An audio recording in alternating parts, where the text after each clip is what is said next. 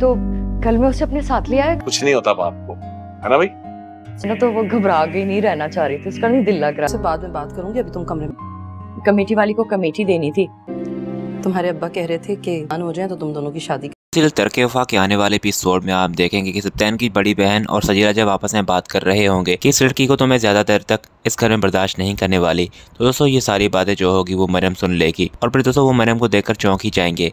उसके बाद दोस्तों जब जाएगी मरियम अपने कमरे में तो वहाँ पर सत्यान उसे देखेगा कि मरियम परेशान सी लगी हुई है। तो वो उसे पूछेगा कि क्या बात है? मैं कब से देख रहा हूँ कि तुम मेरी किसी बात का जवाब नहीं दे रही।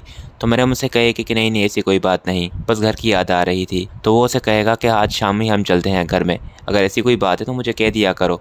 इस तरह से अपना मूड ना ऑफ़ किया करो। पर सिप्तन को मालूम लग जाएगा कि मेरे मुझसे कुछ छुपा रही है। तो वो उसे कहेगा कि अगर आप ही ने या किसी ने कुछ कहा है तुम्हें तो तुम वो भी मुझे बता सकती हो। पर यहाँ पर तो तुम मरियम उसे कुछ भी नहीं बताएगी और उसे कहेगी कि, नहीं नहीं सबका रवैया मेरे साथ बिल्कुल ठीक है। अगर ऐसी कोई भी बात होगी तो मैं आपको ज़रूर बताऊँगी। उसके बाद नेक्स्ट सीन में आप देखेंगे कि सजीला को उसकी बड़ी बहन कह रही होगी, क्या ऐसा से बात किया करो तुम भी? अभी वो लड़की यहाँ पर मौजूद है और तुम उसके सामने ये सारी बातें कर रही थी। अगर वो सुन लेती और सप्तान को बता देती तो तुम्हारे साथ साथ मेरा भी सफाया हो जाता है इस घर में। नेक्स्ट सीन में आप देखेंगे कि मरियम आएगी सप्तान से बात करने के लिए तो वो क्या देखेगी? कि सप्तान को महक ने फ़ोन किया है और वो फ़ोन पर महक से बात कर रहा है और फिर सप्तान जैसे ही पीछे देखेगा तो देखेगा कि मरियम खड़ी हुई है तो वो उसे कहेगा कि महक की कॉल थी। और फिर वो जब देखेगा कि मरियम थोड़ी खामोश हो गई है तो वो उसे कहेगा कि तुम्हें मेरा महक से बात करना अच्छा नहीं लगता ना? मैं जानता हूँ, पर वो मेरी बहुत अच्छी दोस्त रह चुकी है, और तुम खुद ही बताओ, अगर इस हालत में मैं उसका साथ नहीं दूँगा तो फिर क्या ठीक होगा उसके साथ? इस पर मरियम कहेगी कि नहीं, मैं आपसे नाराज़ नहीं हूँ। बस मुझे महक का इस तरह से आपको फ़ोन करना ठीक नहीं लगता। मतलब उसका कोई और दोस्त वगैरह या उनकी फैमिली में से कोई नहीं।